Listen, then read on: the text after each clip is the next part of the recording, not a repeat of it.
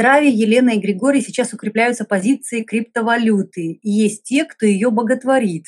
А есть те, кто говорит, что это замануха на уровне мирового правительства. Что вы думаете о криптовалюте? Что я думаю о криптовалюте? Это способ создавать собственные деньги, то есть делать деньги из ничего. Но на самом деле, чтобы криптовалюта она имела силу, у вас все равно должен быть какой-то материальный достаток, и нужно договориться с банком, что а, чтобы он взамен вашей криптовалюты что-то выдавал. То есть если вы покупаете что-то на криптовалюту, то есть кто-то является гарантом того, что криптовалюта она а, обеспечивается деньгами. То есть у мирового правительства есть такой план, а, тайного мирового политического правительства есть такой план перевести нас всех на цифровые деньги. То есть много, вот есть разных заманух есть через, официально через банки, можно вас заманить через так называемые криптовалюты, которые имеют некоторую выгоду, например, э, если вы что-то не можете оплатить через банк, вы можете оплатить через криптовалюту, вы к ней привыкаете, а потом вас тихонечко криптовалюту переводят, да, и вы начинаете расплачиваться. То есть, когда вы с помощью криптовалюты уходите от паразитической банковской системы, криптовалюта, она играет позитивную роль. Когда криптовалюта это лишь способ кого-то воровать, это тоже бывает, либо подсадить вас на эту криптовалюту, чтобы потом вами управлять, это проблема. То есть хорошо это или плохо. То есть если вы э, переходите на обмен ресурсами через криптовалюту, то есть и этой криптовалютой управляет человек в вашем государстве, да, например, живете в России, да, то есть, и, собственно, криптовалюта – это человек, который защищает национальные интересы, то это в целом хорошо. То есть вы выходите из-под банковского влияния, то есть, э, например, вы можете получить кредит в криптовалюте, им расплатиться, и вы не платите за него там, сколько, 10% годовых, а, предположим, полпроцента, а то или меньше. В некоторых странах отрицательный процент. Криптовалюта играет положительную роль. Важно еще, кто этой валютой управляет и к чему это ведет. Ну, обычно а, ситуация с криптовалютой проблема в том, что за, чтобы, например, эти деньги получить наличные, вы э, несколько процентов э, отдаете тому банку, который этим занимается. То есть э, сливаете часть вашего дохода, кроме того, что уже существует, еще какой-то банковской организации. То есть это с точки зрения экономики очень дорого. Отдать 3% только для того, чтобы эти деньги сделать наличными. Ну, то есть сила криптовалюты в том, что ей можно расплачиваться, например, ну, те же самые Яндекс деньги, ну, например, то есть это может выпускается банковская карта Яндекс Деньги, и можно расплачиваться. Она по большому счету внешне никак не отличается от вашей банковской карты. То есть банковская карта – это гарант банк. Да, тут гарант какой-то другой банк. Вот, ну, если э, банковская карта работает, то она по сути не отличается. Важно то, кто это контролирует.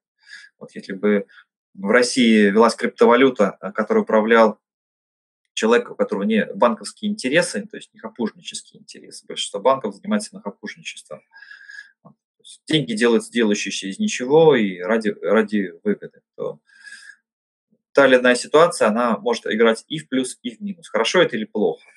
Это зависит от ситуации. Я не могу сказать, кто является собственником этой валюты и какие он ставит задачи. То есть есть положительная сторона, есть отрицательная. Вот, э, в целом э, наличие криптовалюты – это хорошо. Хорошо, что появляется какой-то аналог уже существующим валютам, да, или какие-то деньги зарабатывают банки, то есть они начинают управлять миром. Вы э, знаете это или не знаете, понимаете или нет, то банки, они управляют экономикой страны. То есть если банк кому-то не дает деньги, то вы ничего, никакой процесс не запустите. А, банк дает деньги, обычно под серьезный процент, то есть из экономики вытаскивается серьезный процесс. То есть процент обслуживания банком, а, но он может быть ну, в реальности, в экономике, ну, предположим, 1%. Если банк просит у нас больше 1%, ну, например, из-за инфляции. Да? То есть банк вытаскивает из экономики деньги, тормозит э, процессы, которые существуют в экономике. 10%, да, то есть 10% э, тормозится развитие той, той или иной части промышленности. То есть, потому что задача банка не получать прибыль, а задача банка обеспечить работу системы. Если это обеспечение стоит дорого, то, соответственно, это идет торможение процесса. Деньги перекачиваются из экономики в чей-то отдельно взятый карман. Ну, то есть нормальный настоящий банк – это люди, предположим, которые живут при системе, и они берут процент, который необходим для обслуживания самого себя. То есть эти деньги, они возвращаются в экономику. Да? Вы сегодня заплатили банку, а завтра банк купил у вас услуги. Там, услуги, например, э, по обслуживанию вашей квартиры, по покупке еды. То есть они все равно остаются в экономике. Если банк где-то складывает, накапливает, это паразитическая система, и от нее нужно избавляться. Есть когда деньги из экономики уходят какие-то часто, частные руки, там скапливаются. И как показывает экономика, в мировой экономике именно так, так и происходит. Практически все деньги, они находятся у банковских систем. То есть и у них есть конкретные хозяева. Хорошо это или плохо, зависит от ситуации. Если все перейдут на, предположим, какие-то криптовалюты, то, поверьте, государство начнет на это влиять. В каком государстве бы ни жили, то есть эту криптовалюту либо запретят, либо возьмут под свой контроль. Хорошо это или плохо, зависит от ситуации. То есть иметь 100% э, денег в криптовалюте нельзя, использовать ее, в принципе, можно. Ну, э, через криптовалюту, например, деньги также через банки могут уходить, например, за границу куда-то. То есть ресурсы могут перекачиваться, это плохо. Например, если вы фактически их не тратите.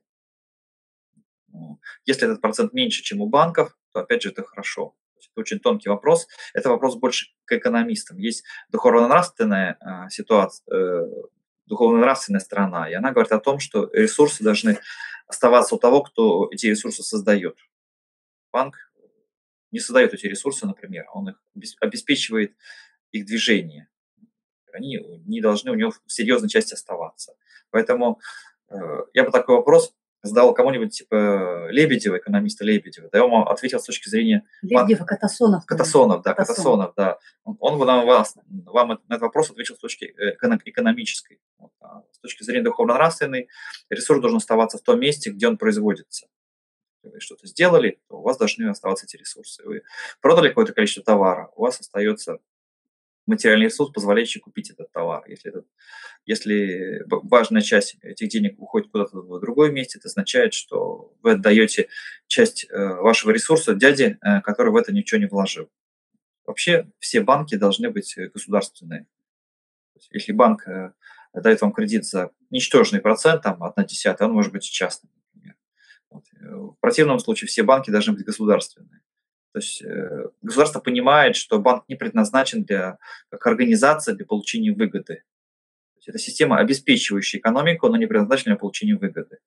То есть, например, вы создаете фабрику и производите какой-то продукт, там выгода может быть. Потому что работа делается, при, создается ресурс. А если банк создан для получения выгоды, то есть это уже, это уже паразитическая система. Ваша задача эту систему по возможности не поддерживать криптовалюты становятся даже банковской системой и начинают делать то же самое, то ситуация, соответственно, такая. Э, большой проблемы в криптовалюте нет. То есть она может работать как плюс. Но плюс в первую очередь в том, что когда вам нужно решить какие-то вопросы, которые банк ограничивает из-за своих интересов, а криптовалюты они позволяют делать. банки, политики не хотят, чтобы вы, например, с кем-то общались, у кого-то что-то платили, то есть кого-то поддерживали. То есть они влияют на ваш выбор влияют не потому, что это нужно для экономики, потому что это нужно с точки зрения безопасности, духовно-нравственных каких-то вещей.